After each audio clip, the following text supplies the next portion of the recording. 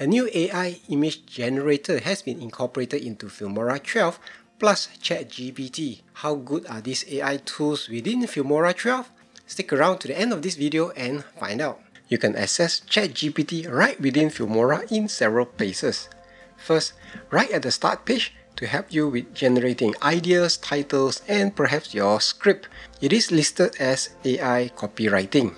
Next, you can use it to help with text titles as you are editing. You can access it with any titles as you are creating the title.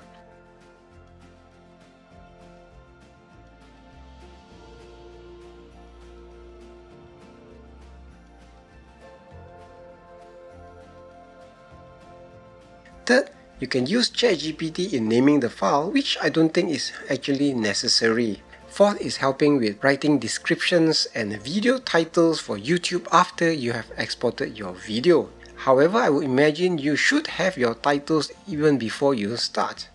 Finally, it also has an AI image generator. This image of a puppy was created with the AI image generator. It looks quite good a tip about using the generator is to give it very specific description what image you want.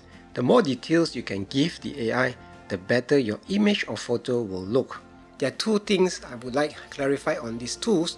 Number one is who owns the copyright to the images that are created. I know that using a tool like Midjourney requires a subscription to be able to use those images in a commercial uh, setting. However, this is not clear in Filmora. The other thing is if there's any additional cost that Filmora would be able to negotiate with these artificial intelligence providers so that Filmora users can get these tools at a very reasonable price. Let me know in the comments below what you think about these new tools in Filmora 12.